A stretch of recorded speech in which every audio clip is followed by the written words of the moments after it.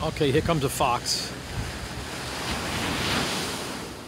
Long Island Beach, and here he comes.